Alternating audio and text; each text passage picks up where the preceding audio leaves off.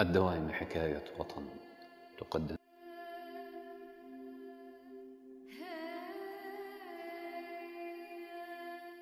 في سنة 48 راحت مننا مواقع بدون قتال اللي كانوا موجودين في الفلوجة أو اللي كانوا موجودين في عراق المنشية أو اللي كانوا موجودين في بيت جبرين. بيت جبرين راحت بدون قتال. الخط اللي موجود على ذكرين ودير الدبان ودير أبان وبير الجمال وكل المنطقة دي راحت. الدوايمة راحت بدون قتال.